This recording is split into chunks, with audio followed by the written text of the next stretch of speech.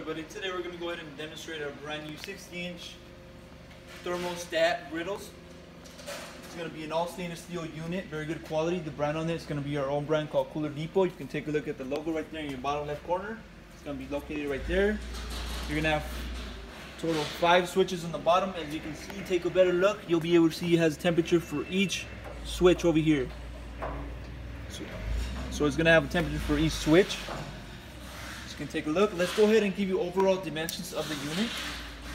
So as I explained, length you're looking at 60 inches, 5 feet for the depth. You're going to be looking at 29 inches for the depth. And from the bottom length to the top, you're looking at an overall length of about 17 inches high.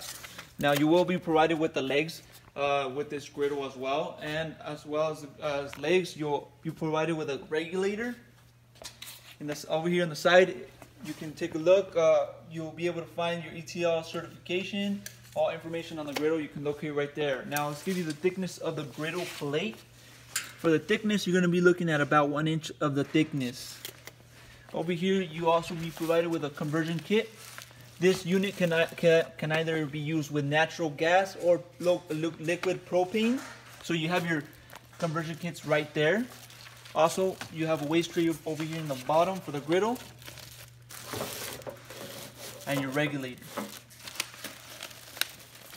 Now, any more information on this griddle, feel free to go on our website, coolerdepotusa.com. We'll have more information on, on this thermostat griddle, as well as pricing for this unit and pictures.